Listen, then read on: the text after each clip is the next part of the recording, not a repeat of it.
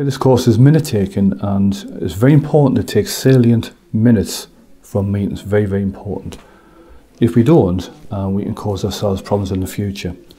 Think about minutes as being a means of motivating individuals to complete agreed tasks ready for the next meeting, rather than just issuing a record of a discussion. But the other side, or the extreme, that uh, we need to consider that records or minutes of meetings are valuable auditable documents as well in some cases. So either way, we need to make sure that minutes are um, kept or produced and they are up to date, accurate, and they actually are used effectively at the end of the day. Often minutes are rushed. We um, try and guess what individuals said post event, and we put in additional words, and, and then we'll send them out. And then there's an element of rework, trying to uh, ask individuals if that was a, a correct interpretation of what they said, and so forth.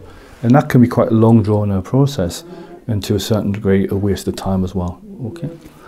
The course itself will look at not necessarily the traditional approach of um, minute taking using shorthand and abbreviations, but look at tools and techniques based around representation.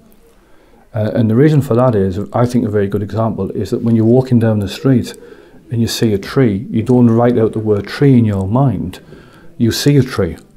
And there's tools and techniques based around representing what people said either by drawing sketches or mind maps or rich pictures to be able to get information down very, very quickly. And then when you return to that document to write up the minutes, the information comes out very well because you're writing about the picture that you've just recorded. So we'll look at tools and techniques, new emerging tools and techniques to allow people to um, take minutes very, very precisely, um, be able to produce them very, very quickly and make them very, very meaningful, represent the actual discussion rather than what was thought to have been discussed. If you do attend a course, um, there won't be um, only secretaries there. There may well be chair people. Um, there may well be um, individuals that just need a great understanding of how the process works. And it could be individuals that are new to minute taking or could well be experienced individuals. It's for individuals who need to look at a new way of getting information down. It could be about polishing their present existing skills, but very much about um, looking at new ways and techniques to be more productive.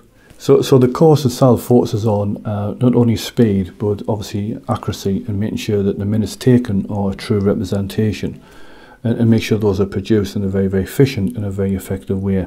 And then being able to use those minutes is a valuable tool to reach the outcomes rather than just quite simply a record of a discussion. Yes, every individual will leave the course with um, a full set of handouts and um, results from the exercises that we undertake, but also more importantly, a personal action plan for improvement.